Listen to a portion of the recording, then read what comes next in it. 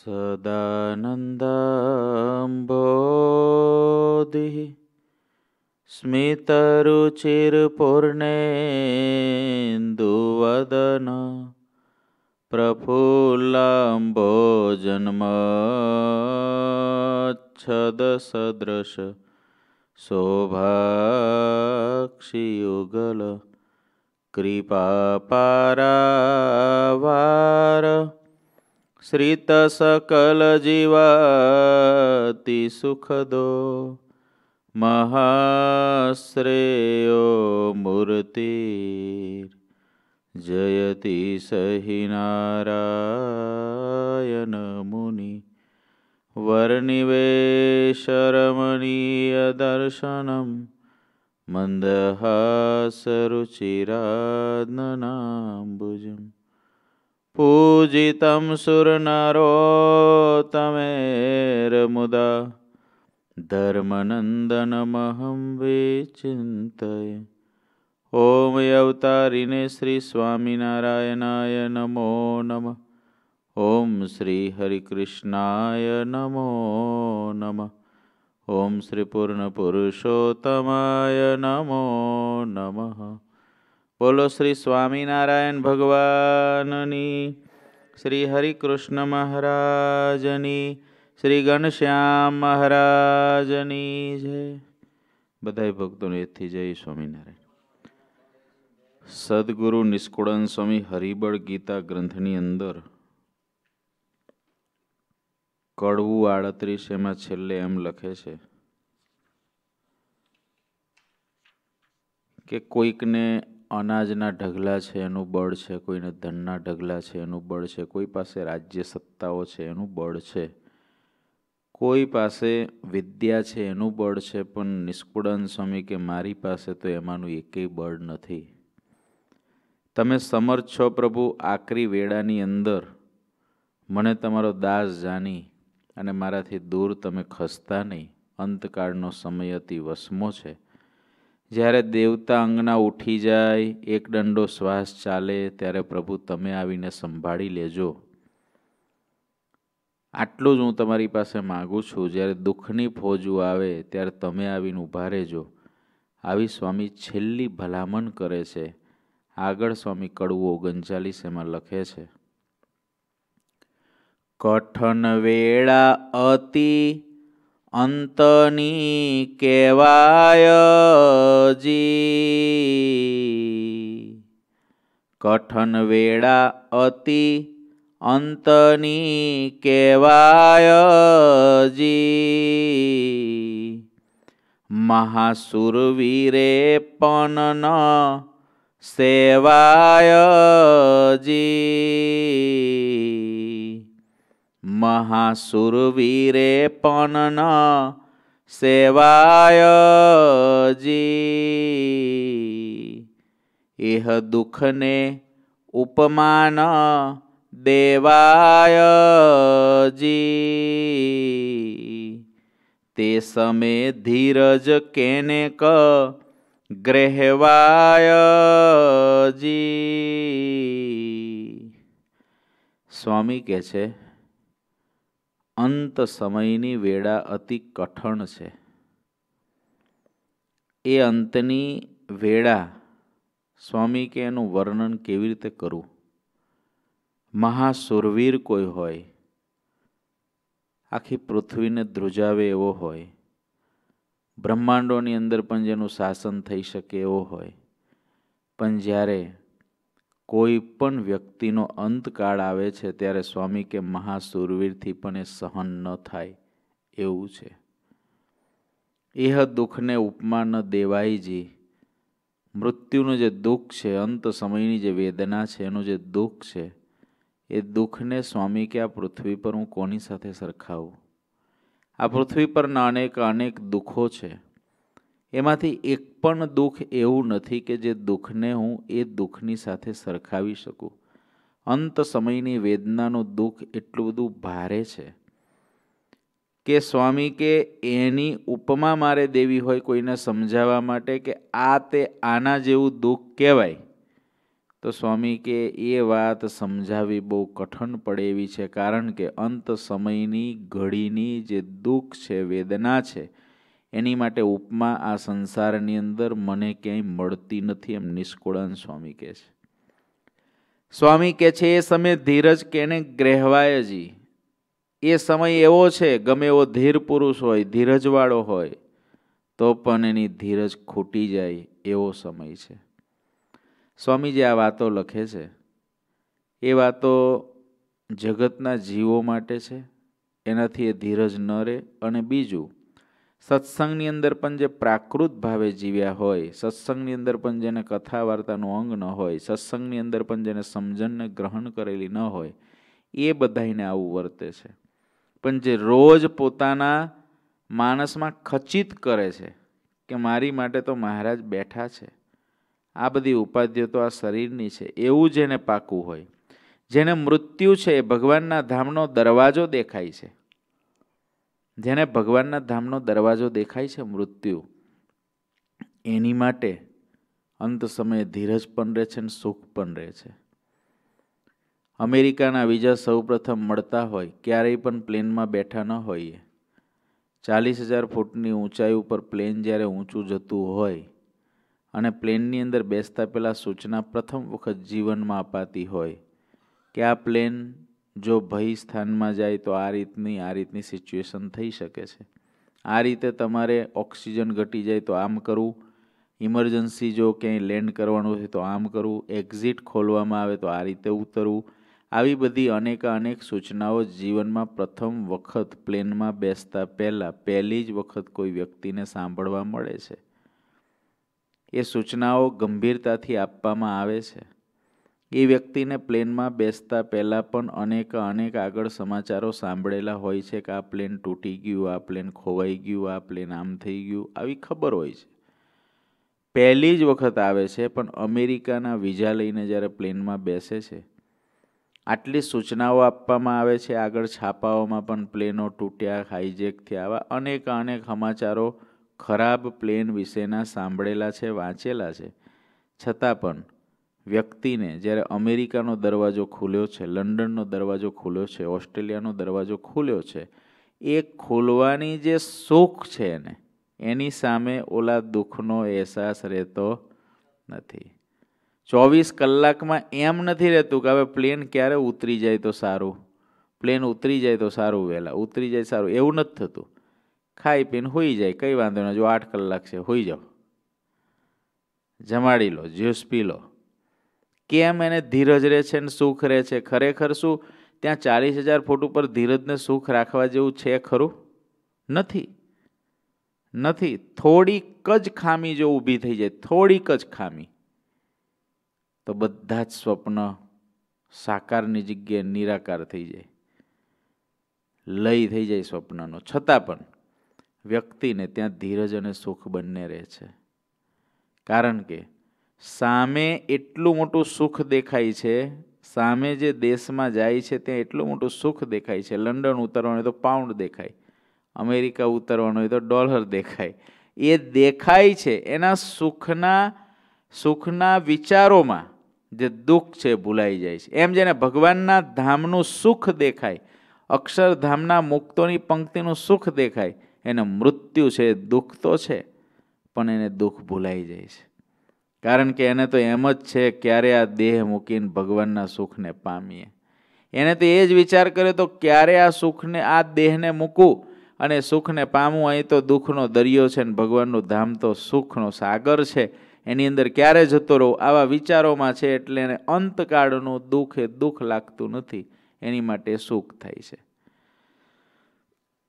સ્વામી કે મોટા ધીરજવાળાને પણ એની અંદર ધીરજ રહે એવી નથી. ગમે એવો સુરવીર હોય, તો પણ એનાથી એ દુઃખ સહન થાય એવું નથી. ગ્રેહવાય નહીં ગણા દુઃખમાં, ધીરજ મોટા ધીરથી. રોમે રોમે વિછી વેદના પ્રગટે, જ્યારે ચાલવું થાય શરીરથી. સ્વામી હરિબળ ગીતામાં બધે બળ આપ્યું.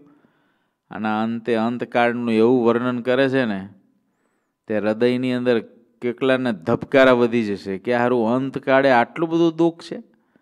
કારણ કે એ એ અનુભવ તો એવો થતો નથી કે અત્યાર થયો ને પાછો જતો રહ્યો ને પાછો આવ્યો ને પાછો જતો રહ્યો, તે એક જ વાર અનુભવ કરવાનો છે. જન્મનું દુઃખ, એનો અનુભવ એક જ વાર કરવાનો છે. અને મૃત્યુનો દુઃખ, એનો અનુભવ એક જ વાર કરવાનો છે. પણ આ બધું સ્વામી જે લખે છે એટલા માટે લખે છે. કે આ વાસ્તવિકતાઓ છે. આ કોઈ ખોટું કોઈને ગભરાવા માટે નથી, કોઈને ભયમાં મૂકવા માટે નથી, પણ ભયથી મુક્ત કરવા માટે છે. જે સ્વામી લખે છે, એક એક વાત સાચી છે. પણ જેની સાથે પરમાત્માનું બળ છે, આપણે બધા ભગવાન એટલે જ ભજીએ છીએ કે આમાં જે સ્વામીએ લખ્યું છે ને, એ દુઃખ આપણે નથી ભોગવવાનું એટલે જ ભગવાન ભજીએ છીએ ભગવાન ભજવા પાછળનું કારણ એ છે કે આ દુઃખમાંથી ભગવાન ઉગારી લેશે આપણને. આપણને ભગવાન સાથે છે એટલે માખણમાંથી જેમ વાળ કાઢે, એમ ભગવાન આ દુઃખની અંદર આપણને નહીં કરવા દે. આવા દુઃખની અનુભૂતિ પણ નહીં કરવા દે. એટલે તો શ્રીજી મહારાજે, આ દુઃખ તો છે જ સો ટકા. જે સ્વામીએ લખ્યું છે, ગ્રેહવાય નહીં ગના દુઃખમાં, ધીરજ મોટા ધીરથી.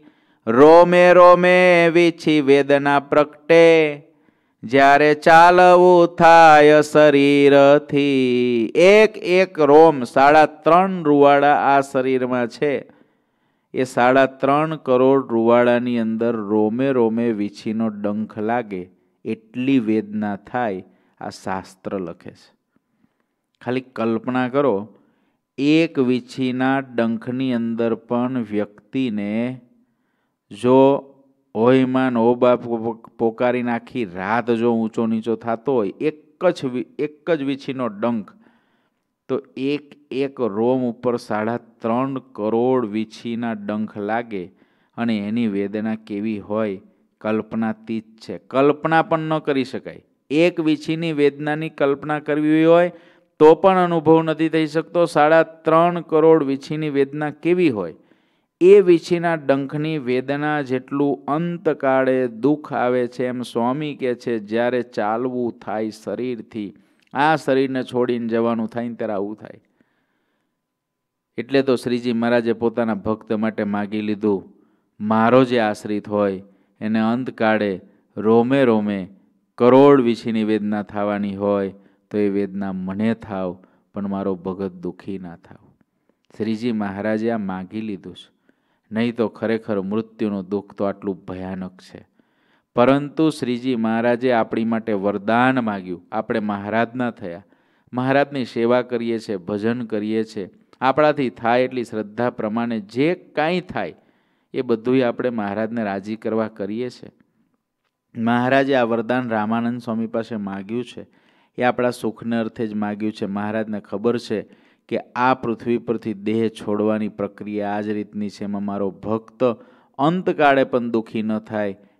આ લોકમાં તો દુઃખી ના થાય. અનવસ્ત્ર તો માગી જ લીધા કે મારો ભગત કોઈ રીતે દુઃખી ન થાય. રામપત્તર એને આવવાનું હોય તો મને આવે, પણ એને ના આવે. એ તો માગી જ લીધું. પણ બીજું એ પણ મહારાજે માગી લીધું, અંતકાળે મારો ભગત દુઃખી ના થાય. બંને દુઃખ મહારાજે હરી લીધા. હવે તો આપણે બસ સુખેથી ભગવાન ભજવાના રહ્યા. અહીંયા આગળ સ્વામી લખે છે, રોમે રોમે વીછીની વેદના પ્રગટે જ્યારે ચાલવું થાય શરીરથી. આ શરીરને છોડવાનું થાય છે, ત્યારે રોમે રોમે વીછીની વેદના થાય છે. આ દુઃખનો વિચાર કરીને ભગવાનનો જે ભક્ત છે, જેને ભગવાન મળ્યા છે, જે મુમુક્ષુ છે, જેને આ જન્મે સંતનો યોગ થયો છે, આવો દિવ્ય સત્સંગ મળ્યો છે, એણે આવા દુઃખનો વિચાર કરીને પોતાની વૃત્તિઓને વધારે ને વધારે ભગવાન તરફ વાળવી. વધારે ને વધારે પોતાના આત્માને ભગવાનમાં પરોવો, પોતાના જીવનને વધારે ને વધારે ભગવાન પરાયણ કરવું જેનાથી આ અંતકાળનો દુઃખ છે, એ દુઃખ દૂર થાય અને અક્ષરધામના મુક્તોની પંક્તિની અંદર સહેજે જઈને બેસાય. તેહ સમામાં કોણ કેનું? જ્યારે પરવશ પ્રાણી પડે સ્વાર્થ લઈ સૌ સહુનો સગા સંબંધી સર્વે રડે. જ્યારે આવા સમય આવે ત્યારે કોણ કોનું સંબંધી? બધા પરવશ થઈ અને બધાય સ્વાર્થ લઈને બધાય રડે. કે આ મફતનો તો એક બળદ રાખેલો, ખરેખરું કામ કરતો તો? અને રે રે, હવે કોણ અમારું કામ કરશે? આમ જગત તો બધું સ્વાર્થમાં રડે. ભગવાનના ભક્તો સિવાય બાકી આખું જગત છે ને બધાને સ્વાર્થનું રોવું આવે. સ્વાર્થનું રોવું આવે. એક જણાએ આ વાત, આવી સંતો વાત કરતા હશે કે ભાઈ આ તો આખું જગત સ્વાર્થિયું છે ના છે તે છે. તો ઓલો ઓલાને થયું કે ના ના, કે તમને સાધુ થઈ ગયા ને એટલે તમને કંઈ ખબર ના પડે કે મારા ઘરવાળાને તો મારામાં એટલું હેત છે ને મને મૂક્યા વિના કોઈ દી ખાય જ નહીં. હું જઉં, ત્યાર પછી ગરમ ગરમ બનાવે ને પછી જમાડે. સંતો કે ભાઈ, બધું સ્વાર્થનું છે, રહેવા દે આખું આ જગત સ્વાર્થ્યું છે. ના ના કે કશું, તમે બધાય સાધુ થઈ ગયા ને તમે બધું છોડી દીધું એટલે તમને કંઈ ખબર પડે નહીં કે સંસારમાં કેવું હેત હોય. સંતો કે, હારું, તાર જોવું છે ને હેત. તો એક કામ કર, આજે ઘરમાં જા અને ફળિયાની અંદર અમે કહીએ આવી રીતે પડી જાજે. તો ઓલો ગયો ઘરમાં ને અચાનક જ બૂમ પાડી, અરે સાંભળે છે? જો મને કંઈક છાતીમાં દુખાવો થાય છે, આમ કરતાં કરતાં તો આડો પડી ગયો. મોઢામાંથી ફીન નીકળી ગયો એવું કર્યું. નાડી બંધ થઈ ગઈ હોય, હાર્ટ બંધ થઈ ગયું એવો ઢોંગ કર્યો. ઓલી બાઈએ જોયું કે આને તો કે હાલતું નથી, આને શ્વાસ બંધ કરી દીધેલો. પછી એને થયું કે જો અત્યારે બૂમ પાડીશ, તો આજુબાજુવાળા ભેગા થઈ જશે. અને ભેગા થઈ જશે પછી મારાથી ખવાશે નહીં. એટલે સૌથી પહેલાં છે ને દહીં ને રોટલો. બે જમી લઉં. બનાવેલો જ હતો રોટલો તૈયાર. એ જમી લઉં અને પછી આના કે દાંત છે ને એ સોનાના તારથી બંધાવેલા છે.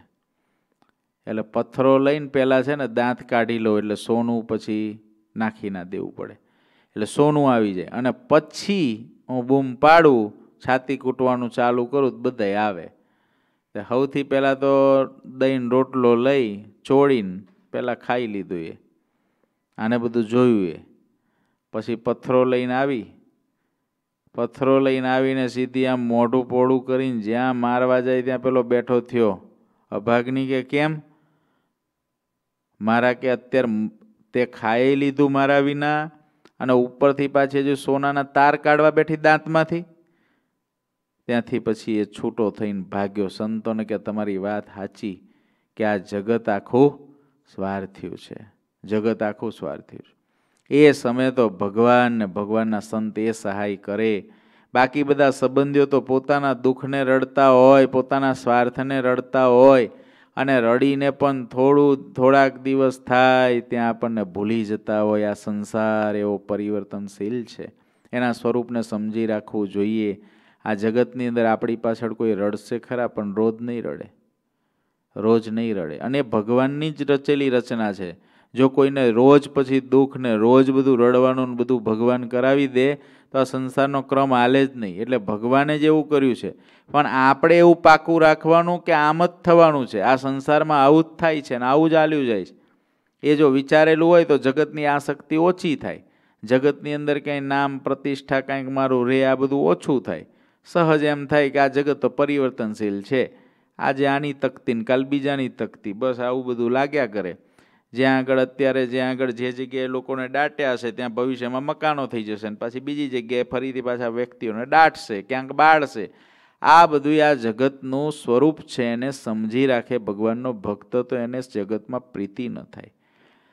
તેહ સમે શ્રી હરિ સ્વામી વાલામાં કરજો વેલ.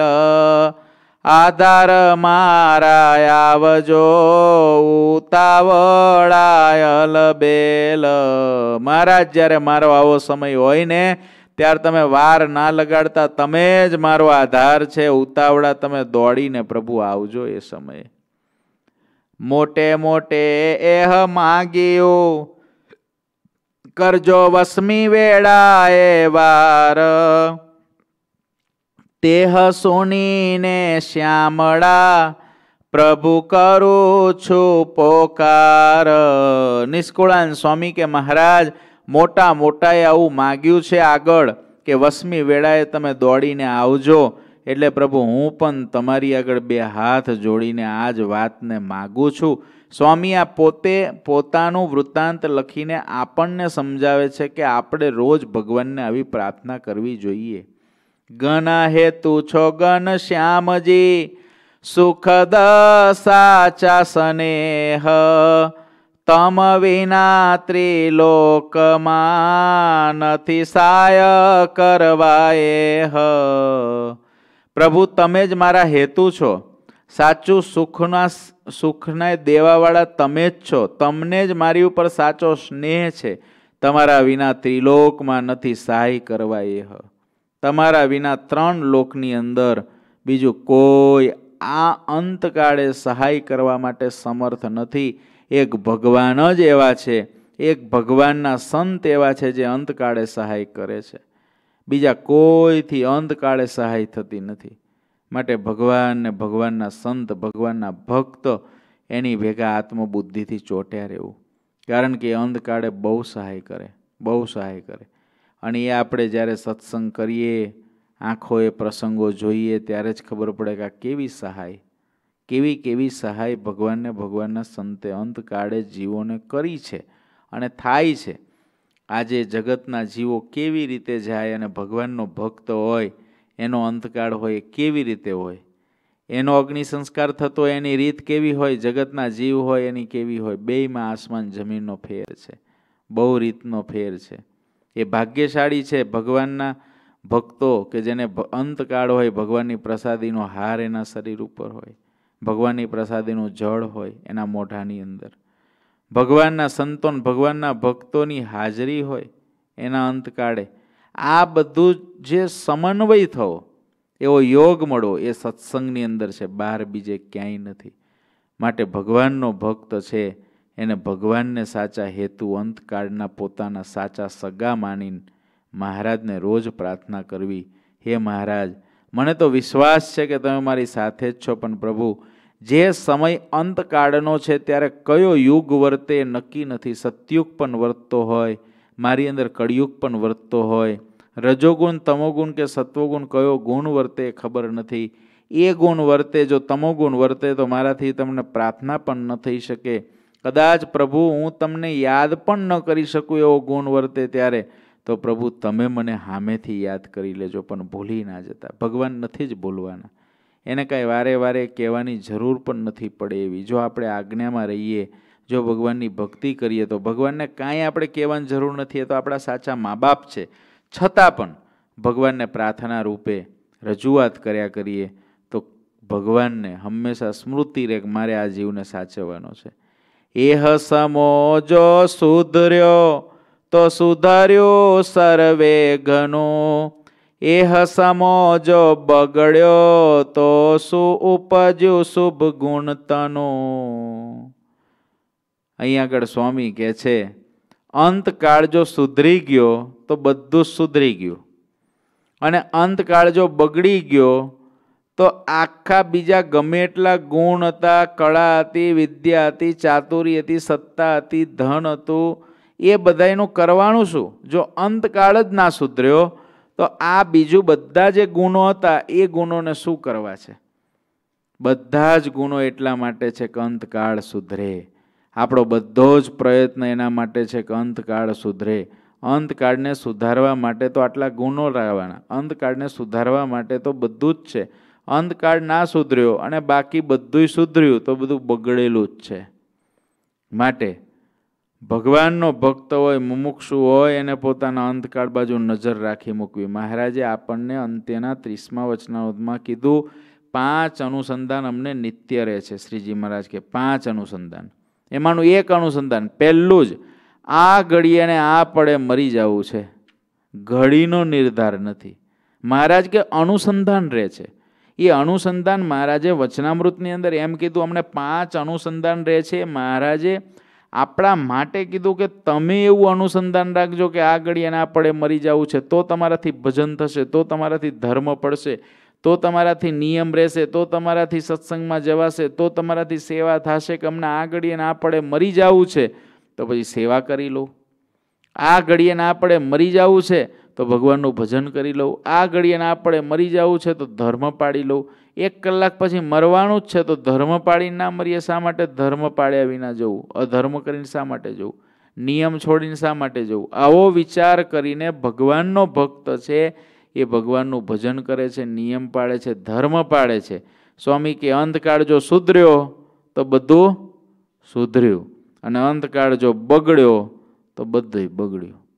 એક જ, એક સેકન્ડનું પેપર છે. એક સેકન્ડના પેપર માટે આખી જિંદગી અક્ષર પાડવા પડે. આખી જિંદગી અક્ષર લખીએ ને, આ તમે આટલી મોટી નોટ લખો, ત્યારે મંતવ્ય બે લીટીનું થાય. એ પાછું ચાર લીટીનું કર્યું હોય તો બે તો ભૂલી જવાય. એવું થાય. ચાર લીટી કરી હોય તો બે ભૂલી જવાય.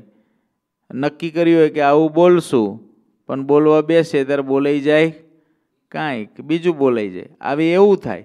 તો આખી જિંદગી પેપર લખ્યું આપણે. ધામમાં જવું છે, ધામમાં જવું છે, મહારાજને પામવું છે, આ તે બધું લખ લખ જ કર્યું. હવે છેલ્લી એક જ, એક છેલ્લો શ્વાસ છે ને, એ શ્વાસ ઉપર મંતવ્ય આપવાનો છે કે તમારું જજમેન્ટ આપો આવે. હવે જજમેન્ટ વખતે જીભ કંઈક બીજું બોલી જાય કે હજુ તો દીકરાનો દીકરો પરણાવવાનો બાકી છે. એક જ સંકલ્પ અંદરથી બોલી ગયો, દીકરાનો દીકરો પરણાવવાનો બાકી છે. છેલ્લા શ્વાસે આ સ્ટેટમેન્ટ આવ્યું. આગળના બધામાં એવું લખ્યું હતું કે ધામમાં જવું છે, છેલ્લો જન્મ કરવો છે, આ બધું લખ્યું. હવે છેલ્લો શ્વાસ જ્યારે ચાલે છે, ત્યારે લેંગ્વેજની અંદર શું આવી ગયું? દીકરાનો દીકરો પરણાવવાનો. તો મહારાજ શું કરે?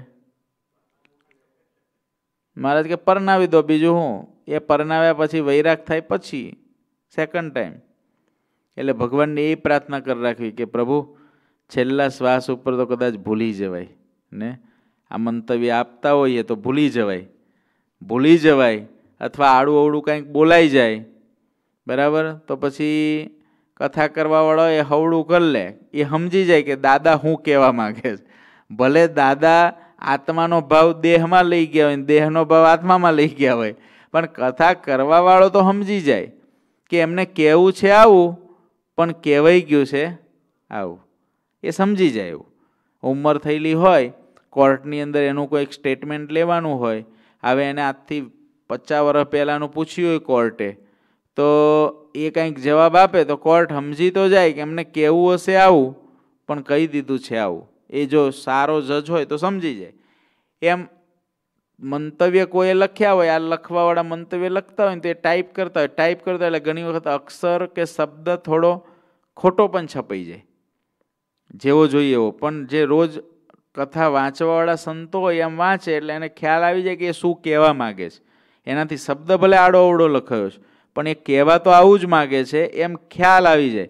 એમ ભગવાનને આપણે આખી જિંદગી પહેલાં અક્ષરો સરસ પાડેલા હોય ને, તો ભગવાનને છેલ્લા સમયે કદાચ અક્ષર આડા અવડા થયા તો ખ્યાલ આવી જાય કે આ શું કહેવા માગે છે.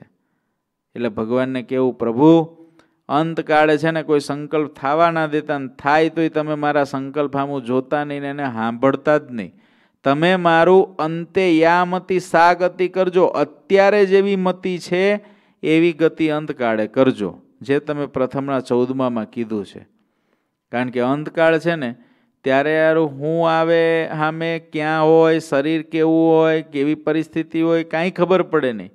આપણે નજરની સામે જોઈએ જ છે ને ઘણા કેટલા બધા તંદુરસ્ત ને કેટલા સરસ હોય, પછી એનો અંતકાળ આવે, બોલી ના શકે, કાંઈ કહી ના શકે, એવી દશા થાય. તો કેમ ખબર પડે કે એની શું ઈચ્છા છે? પણ ભગવાન, એ ભગવાનને જો આપણે પ્રાર્થના કરી રાખી હોય, તો ભગવાન આપણો અંત સમય સાચવી લે છે. એ હસમો જો સુધર્યો, તો સુધાર્યો સર્વે ઘણું એ હસમો જો બગડ્યો, તો શું ઉપજ્યું શુભ ગુણ તનું. શુભ ગુણ હતા એનું શું થયું? કશો અર્થ નહીં. જોકે એક વાત નક્કી છે. આ બધું જે સ્વામીએ લખ્યું છે ને જગતના જે ગુણો હોય ને, જગતના લોકો હોય ને, એના માટે લખ્યું છે. ભગવાનનો ભક્ત તો અંતકાળે ભગવાન એને લેવા આવે છે. એની તો સદગતિ જ થાય છે. ભલે અંતકાળે બરલ્યા જેવું બોલે, ત્યાં સુધી વચનોતમાં લખ્યું કે, ઓય માને ઓ બાપ બોલે ને છેલ્લે. ઓય માને ઓ બાપ તોય પણ ભગવાનના ભક્તની અવળી ગતિ થતી નથી. બાધિતાનું વૃત્તિના યોગે કરીને એવું બોલાય, આખી જિંદગી ભજન કર્યું હોય, પણ બાધિતાનું વૃત્તિ એ આત્મા ગુણાતીત નથી થઈ ગયો હજુ. ગુણાતીત નથી થયો. એટલે થાય શું કે એના અંતકાળે એને જેવો ગુણ વર્તતો હોય ને, એવું બોલાય. એવું બોલાય. ઘણી વખત એમ થાય ભગવાનનો આવડો મોટો ભગત અને અંતકાળે ઓયમાં ઓ બાપ કેમ કરે છે?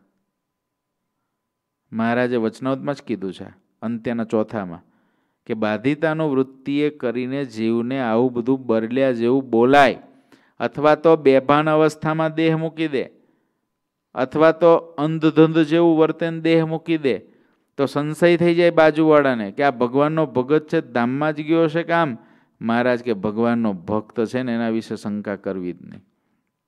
એ તો ભગવાનના ધામને જ પામે. ભગવાનના ધામને જ પામે અને ભગવાન પાસે જ જાય એને વિશે શંકા કરવી જ નહીં. ભગવાનનો ભક્ત હોય, અચાનક એનું મૃત્યુ આવ્યું. એટેક આવ્યો, એક્સિડન્ટ થયો, બીજું કંઈક થયું. તો ભગવાનનો ભક્ત છે, ભગવાનના ધામને જ પામે, ભગવાન જ એને લેવા માટે આવે. આ વાતને મહારાજ કે બરાબર પાકી રાખવી. વચનામૃતમાં મહારાજે વારે વારે આ વાતને એટલે પાકી કરાવી. પણ સ્વામીજી અહીં લખે છે ને, એ જગતના જીવનું લખે છે. કોઈ ગુનિયલ વ્યક્તિ હોય આખી જિંદગી બહુ ગુણ્યલ ને બહુ એને બધું બહુ સારું કામ કર્યું. પણ અંતકાળ આવ્યો ત્યારે એ કાંઈ કામ ના લાગે. સમો તો બગડી જ જાય. ભગવાનને ના રાખ્યા હોય, એનો સમો અંતકાળે બગડી જવાનો. તેહ માટે તમ પાસળે માગો છો હું મહારાજ. નિષ્કુળાનંદ કહે, નાથજી, એહ સામે રાખજો લાજ. નિષ્કુળાનંદ સ્વામી કે છે, પ્રભુ, એટલા માટે જ હું તમારી પાસે માગું છું કે જ્યારે અંતકાળનો સમય આવે ત્યારે તમે લાજને રાખજો. ત્યારે તમે પ્રભુ બાજુમાં આવીને ઊભા રહેજો. લાજ મારી છે હરી તમારે હાથજી મુજ નાથના તમે છો નાથજી સંકટમાં હિ સ્વામી રેજો સાથજી એટલી સુનજો ગરીબની ગાથજી પ્રભુ, મારી લાજ તમારા હાથમાં છે. અનાથના તમે નાથ છો, સંકટની અંદર પ્રભુ તમે સાથે રહેજો અને મારા જેવા ગરીબની આટલી તમે પ્રાર્થનાને સાંભળજો. સ્વામી અતિ દીન ભાવે ભગવાનને પ્રાર્થના કરે છે. આવી દિનતા, આવું ગરીબપણું, આવા શબ્દો, આ બધું આપણને ન આવડે. સ્વામી પાસેથી આ બધું આપણને શીખવા મળે છે. ભગવાનને પ્રાર્થના કરવી હોય તો કેવા શબ્દોથી કરાય, કેવી ભાવનાથી કરાય, આ બધાએ મોટા સંતોએ લખેલા ગ્રંથો થકી આપણને ભગવાનને પ્રાર્થના કેવી રીતે થાય એ આવડે. સ્વામી લખે છે ગાથ સુની ગરીબની ગુણની ગ્રેજો બાય. મ અવગુણ માહેરા શ્રી હરિ કરજો સાય. હે પ્રભુ, મારી છે ને તમે વાતને સાંભળીને, મારા જેવા ગરીબની વાતને સાંભળજો પ્રભુ. તમે તો બહુ મોટા અક્ષરધામના, મોટા તખત ઉપર બેઠા છો. હું તો એક સામાન્ય જીવાતમાં છું. અનંત કોટી બ્રહ્માંડોની અંદર અનેક જીવાત્માઓ, મધ્યનો એક જીવાત્મા હું છું, બહુ ગરીબ છું. બહુ ગરીબ છું કહેતા મારી અંદર કોઈ એવા અક્ષરધામના મુક્તો જેવા સદગુણો નથી પ્રભુ. અક્ષરધામના મુક્તો જેવા દિવ્ય ગુણો મને પ્રાપ્ત થયેલા નથી. એવા સદગુણો મને પ્રાપ્ત થાય એવી મારી લાયકાત પણ નથી, માટે તો હું ગરીબ છું પ્રભુ. પણ તમે ગુણોના નિધિ છો. તમે ગુણોના નિધિ છો. મારી બાઈ, મારો હાથ તમે પકડીને રાખજો પ્રભુ. મ જોશો અવગુણ માહેરા, શ્રીહરિ કરજો સહાય મારા અવગુણને ના જોતા અને મને સહાય કરજો. પ્રેમાનંદ સ્વામી બધા મોટા મોટા સંતોએ આ જ માગ્યું છે મહારાજ પાસે.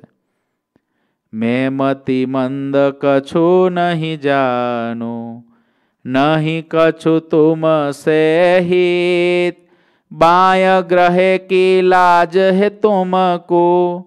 લાજ કોને છે? તમારે. બાય એટલે મારો હાથ તમે ઝાલ્યો છો.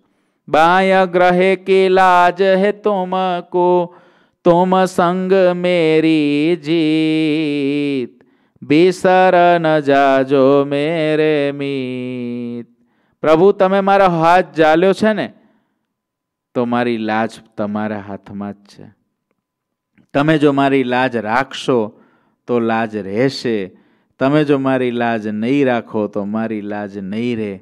કારણ કે હું તો ગરીબ છું ગરીબ છું.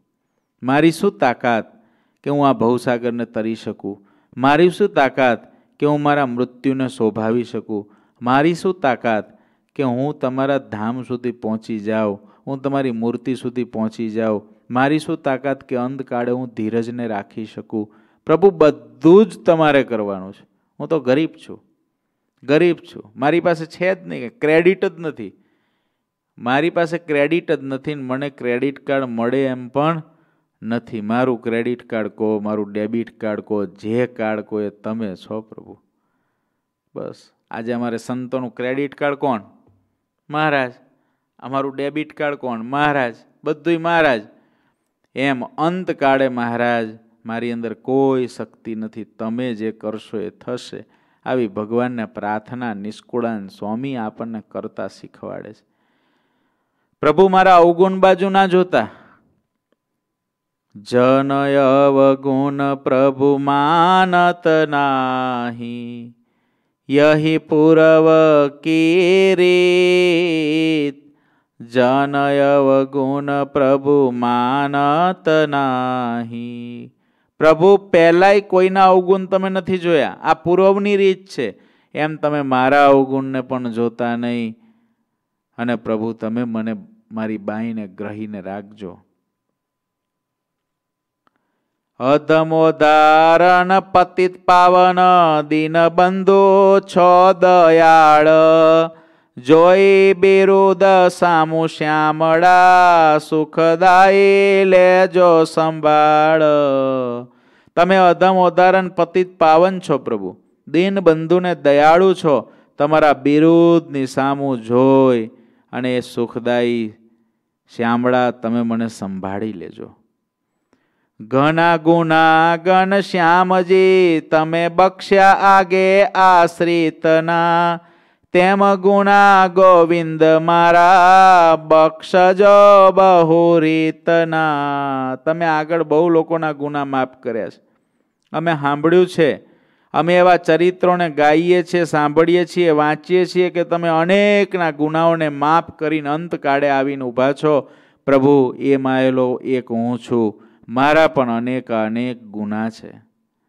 ભગવાનને ક્યારેય એમ ન કહેવું, હું તમારો બિલકુલ ગુનેગાર નથી. ક્યારેય નહીં. બધી જ ભગવાનની આજ્ઞા પાડીએ છીએ એવું આપણને લાગતું હોય ને, અને આપણને ખબર હોય ને કે મેં ભગવાનની કોઈ પણ આજ્ઞા, કોઈ પણ જગ્યાએ લોપી નથી, આટલી ખાતરી હોય ને, તોય મહારાજને કોઈ દી એમ ના કહેવું મહારાજ, હું તમારો ગુનેગાર નથી.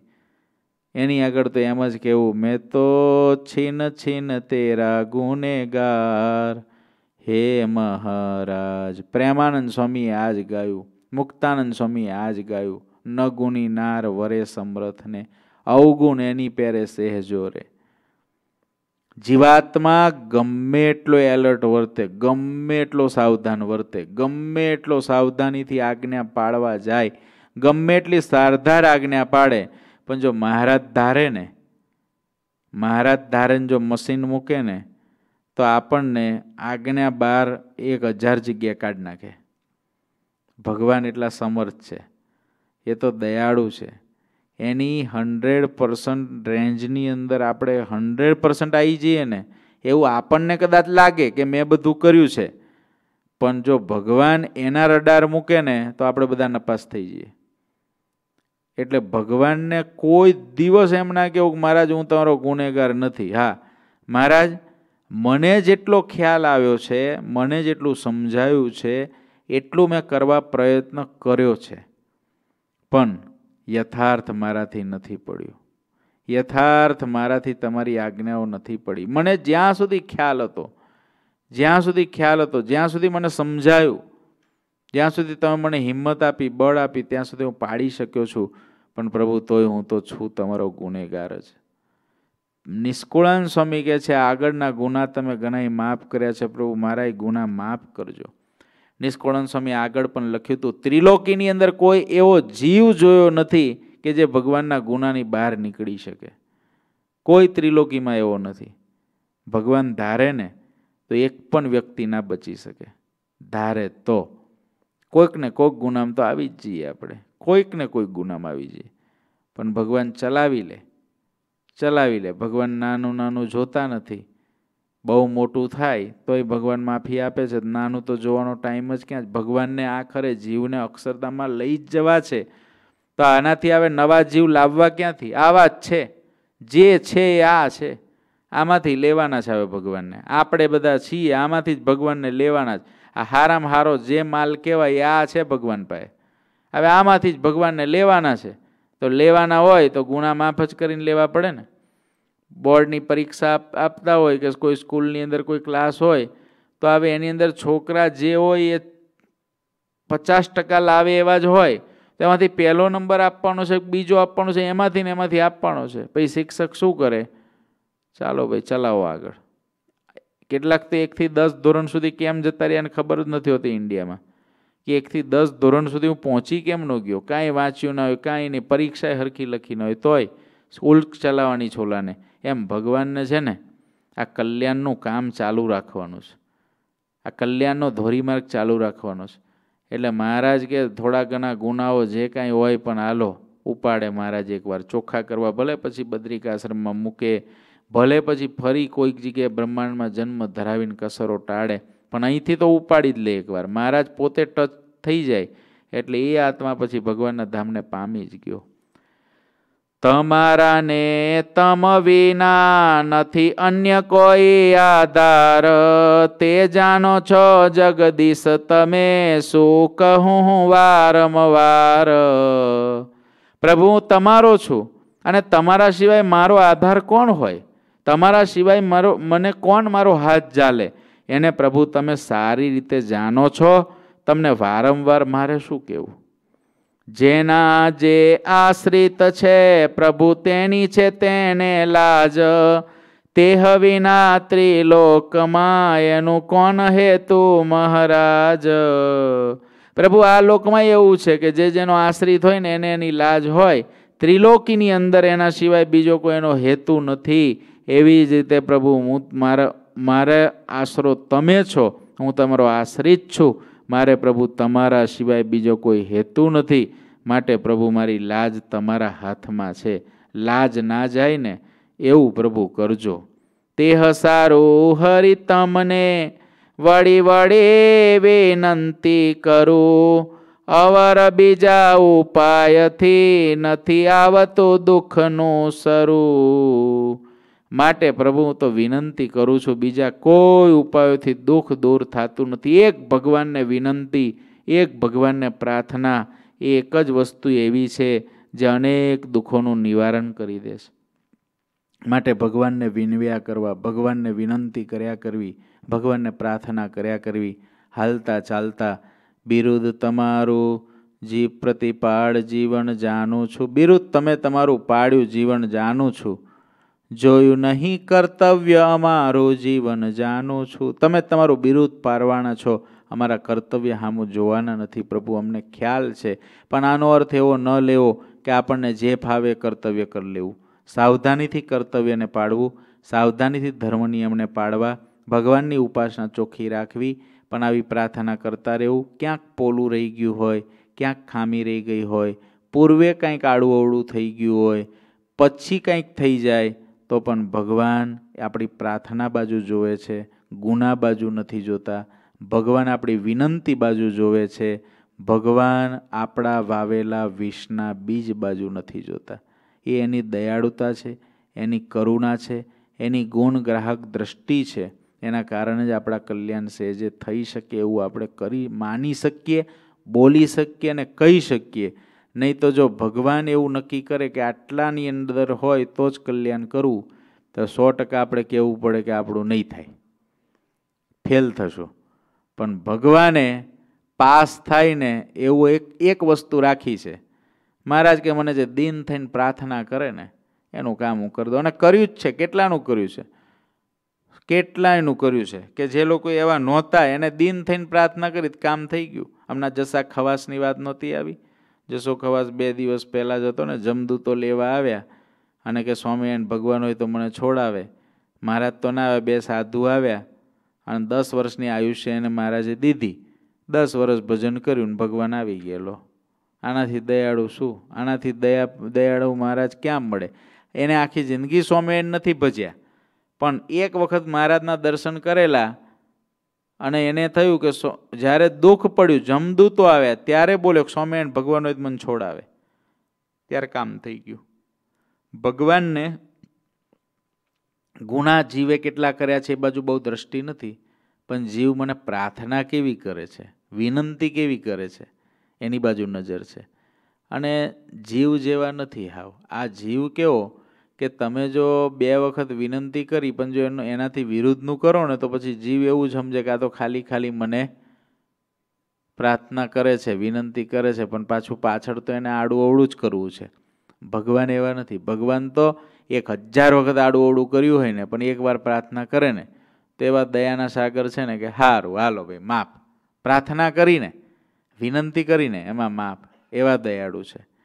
જે કહેવાનું હતું તે મેં કહ્યું, હરિકૃષ્ણ જોડી જુગ હાથ. પ્રભુ, મારે જે કહેવાનું હતું મેં બધું કહી દીધું જ બે હાથ જોડીને તમને. દિન બંધુ દિલ ધારજો નિષ્કુળાનંદ નાથ પ્રભુ, તમે આ હૃદયમાં ધારી લેજો. અમારી પ્રભુ અંતકાળે આવીને તમે રક્ષા કરજો, અમારા ગુનાને જોતા નહીં. સ્વામી કે આવું મેં તમને બે હાથ જોડીને મારે જે કહેવાનું હતું એ બધું મેં કહી દીધું છે. હવે તો પ્રભુ તમારા હાથ છે બધું કરવાનું. આવી સ્વામી દિન ભરી ગરીબ થઈને ભગવાનને પ્રાર્થના કરવાનું આપણને સર્વને શીખવાડે છે. અહીં કડવું ઓગણચાલીસ અને ચાલીસ પૂર્ણ થયું છે. ગણેશ્યામ મહારાજની જે શ્રીપતિમ શ્રીધરમ સર્વદેવેશ્વરમ ભક્તિધર્માત્મજમ વાસુદેવમ હરે માધવમ કેશવમ કામદમ કારણમ સ્વામિનારાયણમ નીલકંઠમ ભજે શ્રી ઘનશ્યામ મહારાજ.